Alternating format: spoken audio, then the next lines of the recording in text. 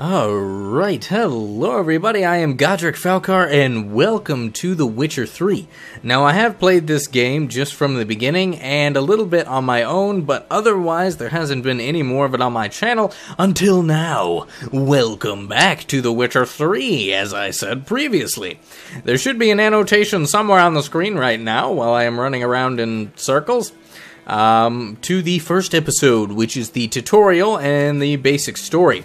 I don't know if I will do the whole storyline, but I will do most of the storyline, um, as well as some side quests, some that are more difficult, more annoying, and more interesting. I will also include on these, but not all the side quests, because that's just boring. Um, I may decide to live stream them, we'll see. But anyway, welcome back, and don't forget to pick this up. This is a crystal skull that Yennefer had. So, in black crystal. Why do I think this is Yen's? Because it is. Um, and if you missed the initial cinematic scene, I knew. That was in it. how useful they are as creatures. Because you can brew Onward, Roach. No, because by eating rotting corpses they prevent epidemics. Did he know they eat the living as well? No, really upset him too. War's not exactly going our Just way. hanging We around. have a side. The northern realms. Radovid's realms, don't you mean? Temeria and Aedirn are no more. Radovid's pledged to restore the old borders as soon as he wins the war. Whoa, whoa. Just run into me, why don't you? That's what keeps us going. Let's go check what's down there real quick. Just real fast, you know, for my own curiosity. I'm pretty sure there's a treasure chest down here being guarded by these wimpy enemies. On guard! Oh wait, this is the wrong sword. On guard! Damn, you're ugly. Yes, they are. Alright, what do you got? I'm already getting beaten up. Cool. Gotta remember how to play this again. Ah, okay. That's how you do that. Alright, alright. Whoa. On guard. Take that. And his head is off. Alright, so so far this game looks really cool. Um, like I said, I did play a little bit of it. Mostly I just got really good at Gwent, which you'll find out what that is later. But if I were you, and I'm not, but I could be, I would totally loot these two things. Um, these are explosive barrels. If you want to use magic, you can to blow them up, but the odds are you kill yourself. Um, and they have really good beginnings to equipment. So these are what we got to work with. Meditation, which will, uh, in the lower difficulties, restore all of your health. Um, all you have to do is sit here and you just meditate an hour. That's all you need to do. Um, these are different times of day, so nighttime, this is sunset, and then sunrise. But all you need to do is wait an hour, which is one of these little notches. Go out of the menu, and your health is all the way back up again. Very useful in the two lower uh, difficulties, but otherwise, you have to drink and eat your fill to restore health, and that's the only way to do it. Obviously, this game's a lot of just collecting things, so we're going to be doing a lot of that. What happened? Did it burn down? I'm sorry. I'm so sorry, peasant. It was beautiful. Alright, but let's continue on with our storyline. But, oh yes, I was going to go through the inventory and I got distracted by myself. Anyway, oh, see, this is a lot better. Uh, we get intensity, bleeding, plus damage. Whoops, I whipped that out really quick. Well, that sounded dirty. Hunting boots, very helpful. A note from Yennefer, which we can read. P.S. I still have the unicorn. That's a story for the beginning of the game. Some tawny owl, some other stuff in our inventory, and then the crystal skull, which is part of a quest which we will most likely give back to Yennefer once we find her. Speaking of that, let's continue on. Sorry for the distraction, but this game is filled with distractions. But that just happens to be one filled with treasure, so it's useful.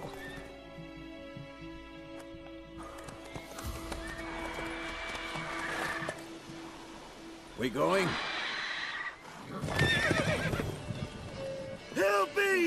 Help!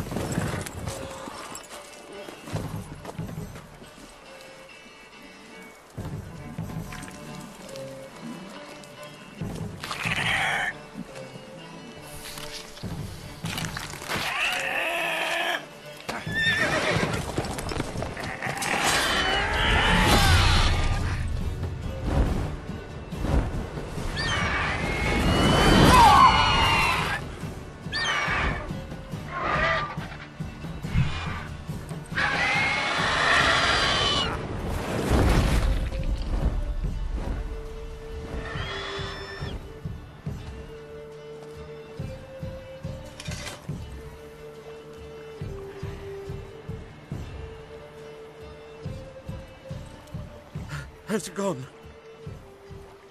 Yeah. Come out. Guy's got one hell of a bowl cut.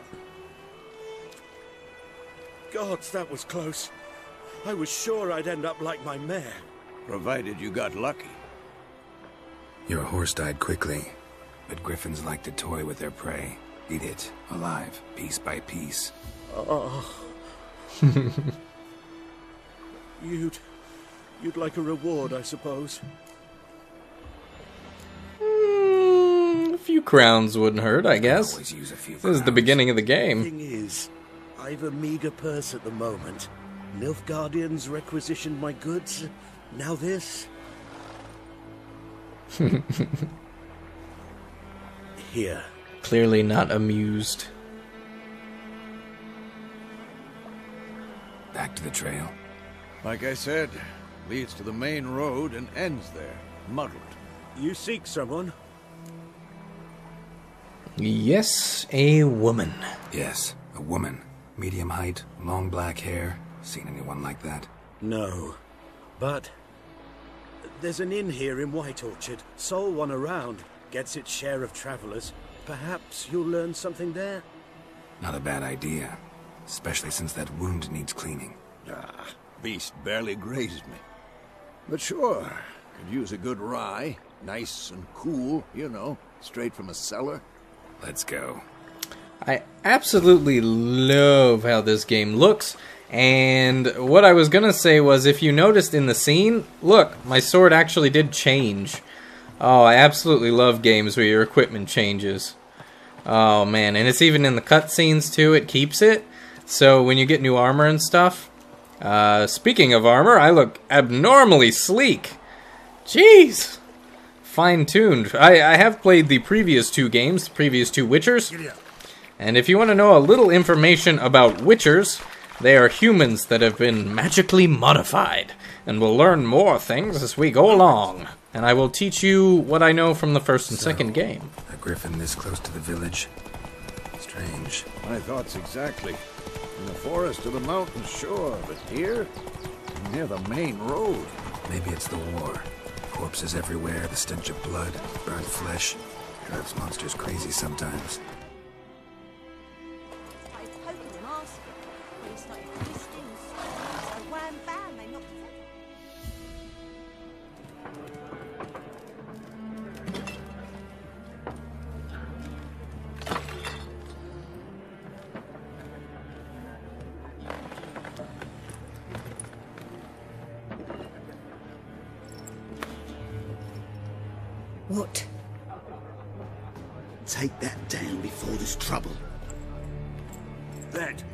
Coat of arms, the Temerian lilies. They've a right to hang there.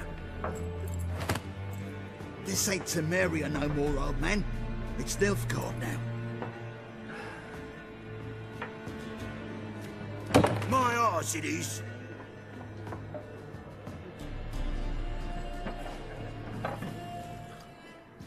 Ah, if only you were a little younger, man. Start a good tavern brawl, I'm sure.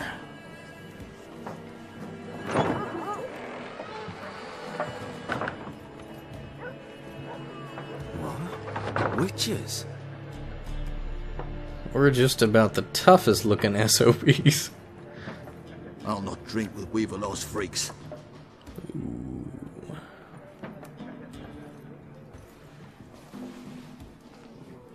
Beg your pardon for those thugs. No need. We're used to it. Folk are jumpy round here. Armies just passed through. Now a griffin's prowling about. Already had the pleasure. One mean beast. Mean? Light way for a hunter to put it. Clawed Lena so bad, poor thing's one foot in the grave. But does no good to wallow in misfortune. How can I be of service? With a drop of vodka for me. And you? Something to wet your tongue? Hmm. Alright, so uh, just a little bit of a mention there that people don't really like witchers. Why? Because there was a giant war back in the day when witchers were created with magic. um, to fight all the mythical creatures, which there's most any mythical creature you can freaking think of in this land. And uh, there was a lot of witchers, and they needed them because they went to war because the mythical creatures were killing people like crazy. Now there's not too many mythical beasts. There's still a lot of witchers left, um, and they're very powerful, uh, amplified people. Uh, they have mutations, which is why you've noticed that both of our fellows here, Geralt and his older gentleman here, I forgot his name, they both have cat eyes, so they can see better in the dark, and fight better, and see further away, and all that jazz. But let's ask if there's a contract on the Griffin, which is primarily the way uh, Witchers make money contracts on mythical beast hunting. There a contract on that griffin? Nay, not at the moment. Used to be. Soon as a beast had built a nest nearby, the alderman would start a collection, or go to the lord for help. Now the alderman don't use the privy without asking the black one's permission first. Kiss ass. And seems they hanged the lord. So no contract. Shame. We might have done something, but not for free. Uh, normally I wouldn't be that petty, but that is a huge freaking beast. If I'm not getting paid, I don't know if I want to even mess with that thing. Alright, um, so through this playthrough, I'm going to try to be a little more quiet than I am in most of my videos. I will talk pretty regularly, but I want to make sure you see all the major scenes, and I will try to be quiet through all of them.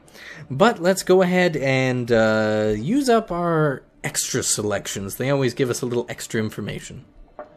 Pretty busy place you got. Nations on the move. Some search for kin, others just want to get out of the way of the armies. They all need food, drink, and a night's rest in warmth. So, war's been good for your trade? Aye, so far.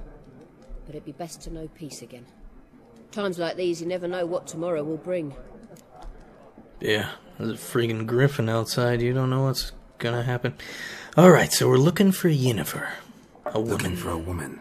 Raven haired, violet eyes, dresses in black and white. Riding in from Willoughby. And, uh, strange as it sounds, lilac and gooseberries might have smelled that. I've not seen nor smelt such a lady. Believe I'd remember. Yeah, especially hard to forget this one. Plenty of travellers about, of me, though. old man. Folk from all over. Might be worth your while to ask after her. Alright, uh, thanks for your help. I don't think we need to check this out. Inns usually have a lot of food and things, um, which we don't really need at this time. Thanks. For everything. She's a nice lady. Am I gonna have to beat up the thugs because they messed with her? Yeah, I'm thinking it. I'm thinking it. I knew what you were thinking. We gotta beat up these thugs because they are harassing this old woman. Help you bandage that up? Please. I'm not decrepit yet. Then I'll ask about Yennefer. Just remember, we'd rather not draw any attention. Seems to be a lot of this kind of uh, thing in games, and by that I mean bad soldiers basically perusing around towns and people disliking them and then pushing themselves on the peasants and stuff and pushing their rule, things like that. That happens a lot in stories like this. Okay, so we need to ask travelers about Yennefer. What do you know about Yennefer, Looking peasant? for someone. And we seek some peace and quiet. Out of my face, freak. For your breath sours my beer.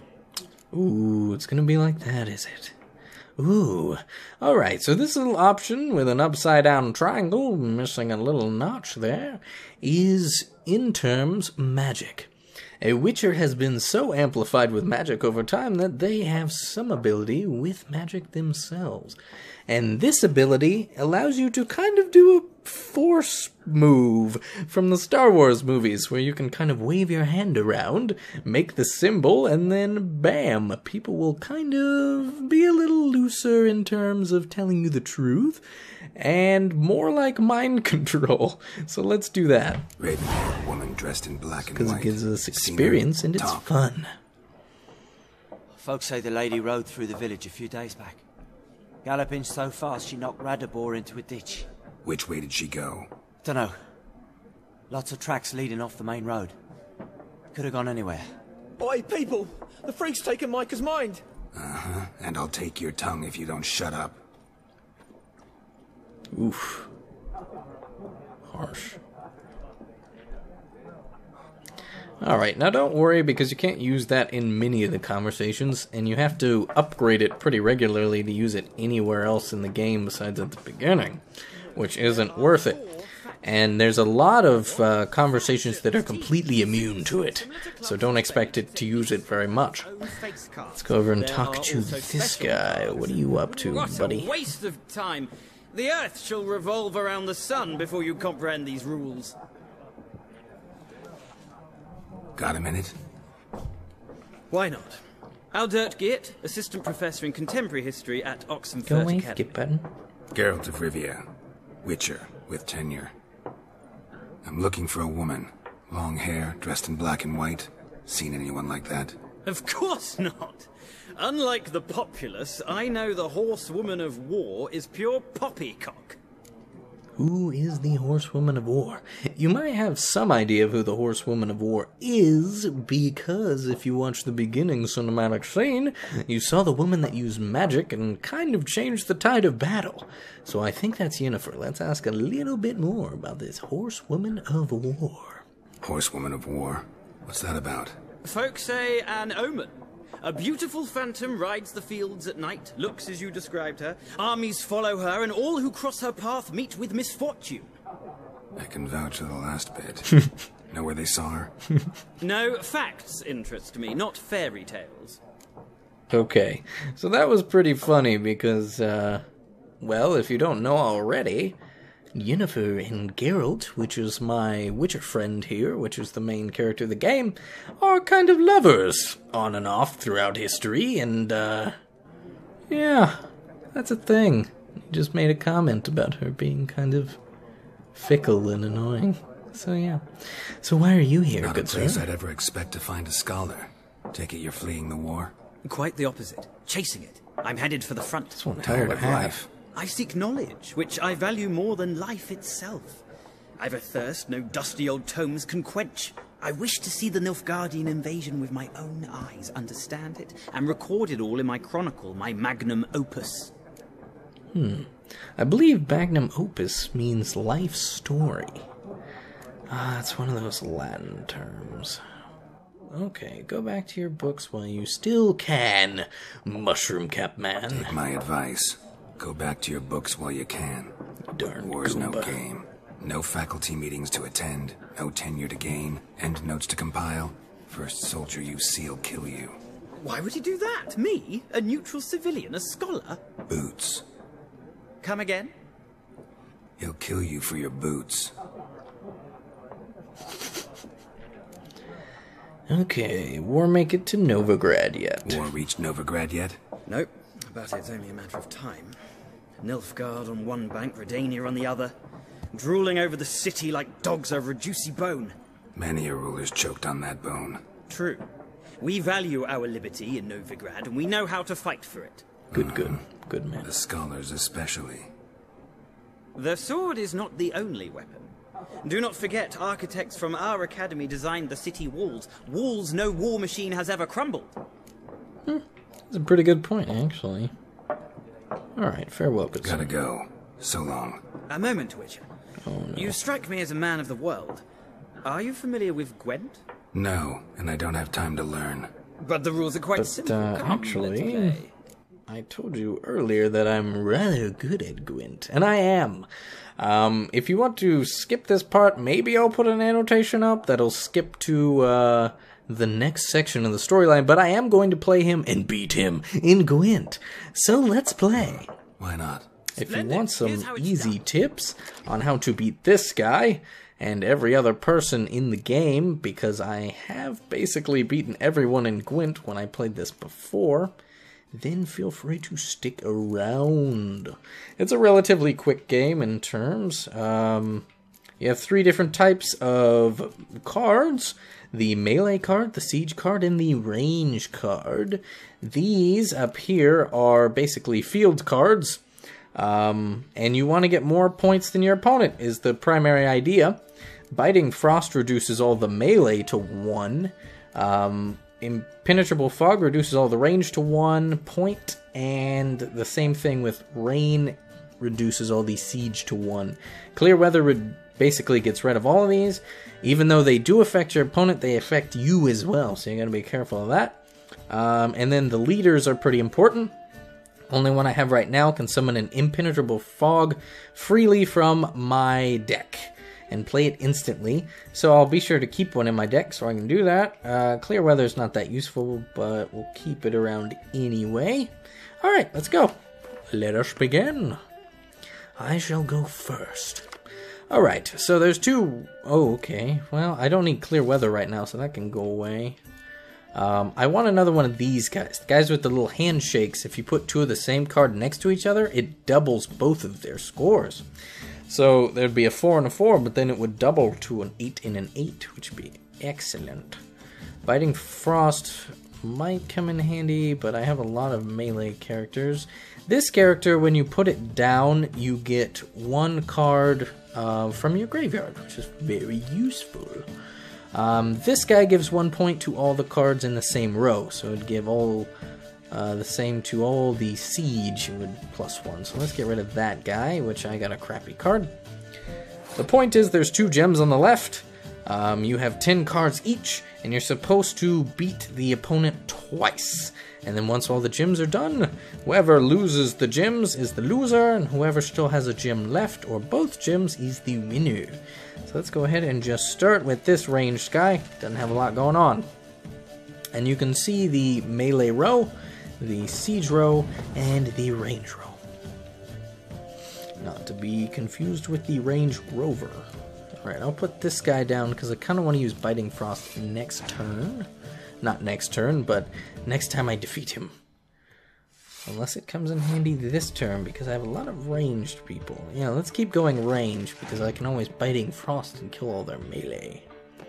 Not kill them, but uh, just make them sadder than they were before. I'll put down this one point because you can't reduce a one point. It's already at one point.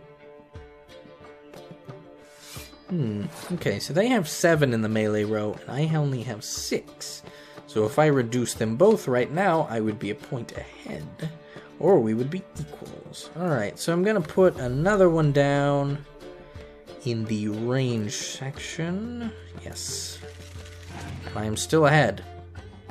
Sometimes if they use a lot of cards, it is best to just pass and run them out of cards completely, and then you can beat them easily. So, what I'm going to do now is... Let's try Biting Frost. Now I am one point ahead, two points ahead. So it makes them do two. At this point, I have a nice little selection down here still. So I'm just going to pass, which will make them have to put a card down, and then I will be one ahead. Even though they won this round, I will win two in a row. Ooh, I did not know that was a thing. Apparently, if we're tied, they can use their leader ability and win. That is unfortunate. Why did he pass? I don't understand. So, let's go siege opponent. And then, because I already have a card down, I can just go ahead and they pass. The thing about passing is it doesn't skip one turn, it skips all your turns. Um, up to the point where your opponent can over um, overclock your number, basically. And so never pass unless you know you can win, because it doesn't skip one round, it skips all of them. But he already passed ahead of time, so all I needed was at least one point. Now there's my ability that triggers. Now I don't have a single ranger on the field, so I can go ahead, use my ability here, and use impenetrable fog. And then in that case, any ranger he has will instantly go to 1. Now what I want to do is lay you down. Not you, with this card. Sorry. Oh, he's got Biting Frost. That's annoying. In all terms. Um, oh, jeez. Alright, well, the field of battle is a little messed up. Let's put this down, which gets me to revive this. Which gives me another six instantly on the field. Yeah, that was dumb on his part if he's got more melee. Alright. I guess I'll just put this guy down. I'm definitely going to win at this point. There's no way he can win.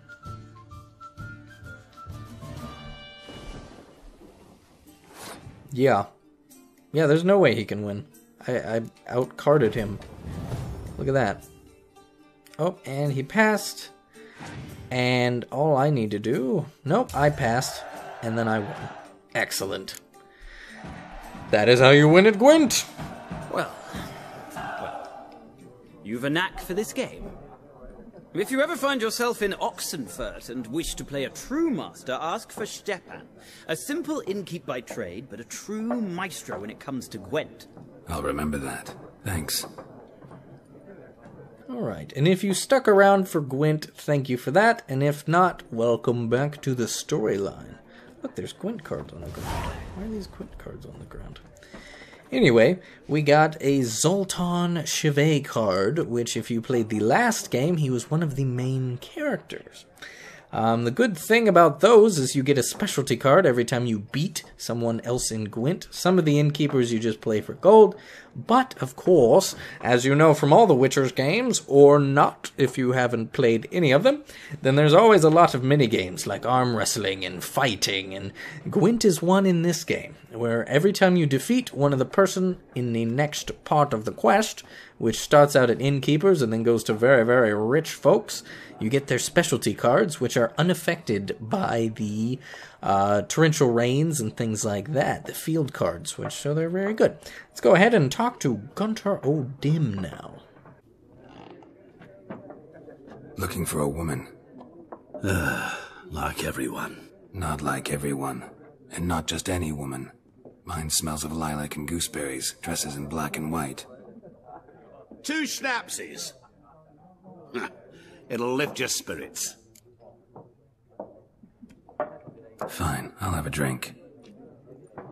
Can we cut to the chase? You seen her or not? Yennefer of Vengerberg.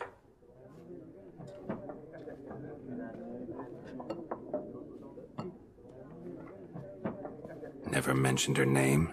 Yet you described her perfectly. And once I hear something, I never forget. Can't help it. How do you know Yennefer? What a question. Master Dandelion's ballads, of course. The only way a humble merchant might hope to rub up against greatness. Unless, that is, he's as lucky as I am. And runs into a very patient witcher. Into Geralt of Rivia himself. The Butcher of Blaviken. What do you do? Who are you? A mangy vagrant. Gaunter O'Dim, at your service. Vagrant. That a profession now? Ah, once a merchant of mirrors. The madding crowd dubbed me Master Mirror, or the Man of Glass. You seen Yennefer? Deepest apologies, but I must ask. Is this about love? None of your business. Yes. As a vagrant, I deserve no explanation. What do you know? Tell me. Before you appeared, it never occurred to me that might have been Yennefer. Who would have thought? Get to the point. An Nilfgaardian scout from the local garrison saw her. Where? At their camp. She rode in there. Dark of night. Black and white. Gooseberries and... Yes, I know. Had a terse exchange with the garrison commander and raced off. Where to? I'm not omniscient. Ask at the garrison. Thanks. We men of the road must stick together. Perhaps one day I'll be in trouble and you'll be nearby to help.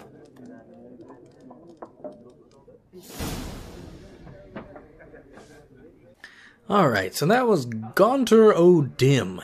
And uh, for those of you who are interested, Master Dandelion was the narrator in the last game, as well as one of your best friends in almost all of these Witcher games. Um, he is a bard, and he also sleeps around with a lot of women, which we may find out later on in the game, if you know what I mean. And I don't mean we're going to sleep with him, I mean we may have some trouble with him. But I hope he's in this game. Um, primarily, he's the narrator of a lot of these, like I said, so maybe he's the narrator of this game. Who knows? Who knows? But I did mute that section just so you guys can hear the storyline and you wouldn't hear me yapping. But Gaunter O'Dim, the man of glass, might be kind of important. Alright, so it looks like we're getting in a fist fight. Done drinking. Some scurvy looking boy. Fuck off. Don't want your kind here. Gasp. oh, let's use this ability while we still can. Haven't done anything to you, so just calm down. Plus those beautiful XP points. Of course no. I, uh, you done nothing. Horsel's working witchcraft. Get him! You wanna go? Wanna go back? Balls. Uppercut. Alright, that was a lot of experience we just got. Whoa, whoa, whoa. Sit. Sit. Yep, you're good. You're good, just sit down. A little bit of a side effect to the magic. Don't worry about it. Alright, everybody, so that is The Witcher 3 for now. This will be the end of the first episode. I hope you enjoyed it. I certainly enjoy this game, and I plan to continue playing this, but feel free to leave down in the comments if there's any specific quests you want me to do. Um, if you do want me to continue this, it's, it's all up to you guys. I will probably continue playing on my own, but uh, you guys and girls out there are the reason I do this, so... Let me know in the comments down below if I should continue, and if you have any suggestions of where I could find some gear, where some good quests, what I should do, blah de blah de blah. And I will have some of the uh, side quests that I liked, and uh, some of them I found more difficult, just to show all of you, or those of you who are playing this game or plan to play this game can uh, figure out those sections. But naturally, I will see all of you in the next video. But bye bye for now. Bye. Bye. Bye. Bye. Bye.